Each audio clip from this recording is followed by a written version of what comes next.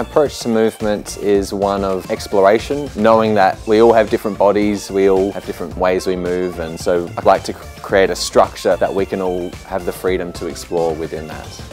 I think what the dancers get out of it is the opportunity to develop skills that they want to develop. So at the start of every semester, we brainstorm and we discuss ideas that we want to explore, the skills that we want to develop and grow, and ultimately the stories that we want to share. And we work on that throughout the semester, and that culminates in a performance, which is designed by all the people within the class.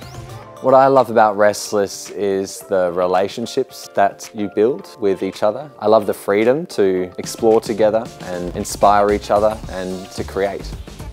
I find that, I mean, when I was at school, I, I, didn't really like writing, or I found it hard to find words to uh, kind of describe how I felt and to find words in general. And I find that with movement, there's not that barrier or filter that you have to pass through to express. It feels like the purest form of communication to me.